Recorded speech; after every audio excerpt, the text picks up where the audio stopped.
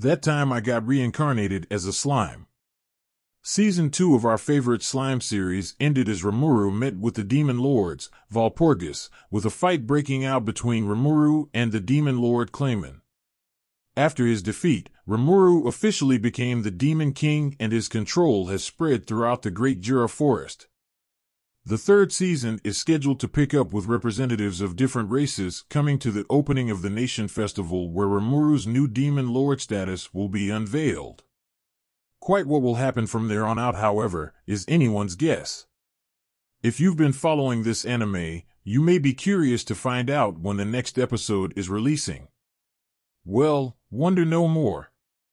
Here's everything you need to know about episode 3 of That Time I Got Reincarnated as a Slime Season 3, including the release date, time, and where you can watch this.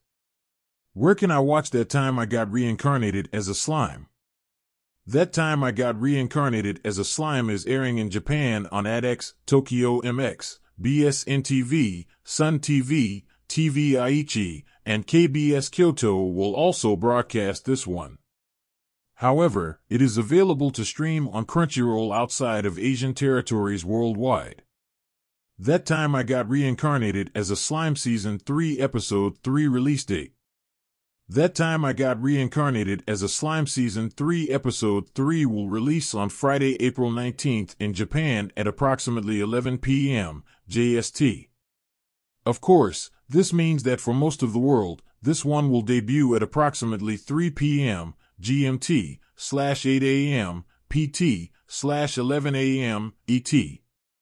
That time I got reincarnated as a slime's episodes will drop in the native Japanese language with subtitles. Dubbing may well arrive later on down the line, but will largely be dependent on how popular this anime will be. How many episodes will that time I got reincarnated as a slime have? It has been officially announced that that time I got reincarnated as a slime will drop with a 13 episode season order, with one episode releasing a week. So with that in mind, we've got 10 more episodes left after this week's chapter.